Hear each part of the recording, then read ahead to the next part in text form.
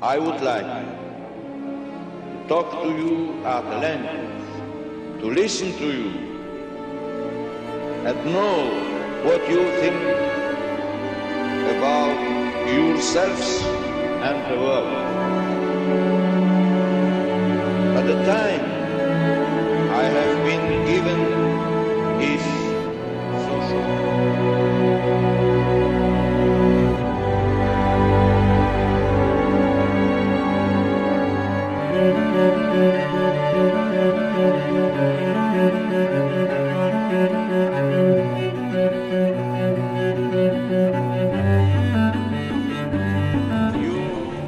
Search for the meaning of life, the powerful experience that will generate through you a more just society and a better world.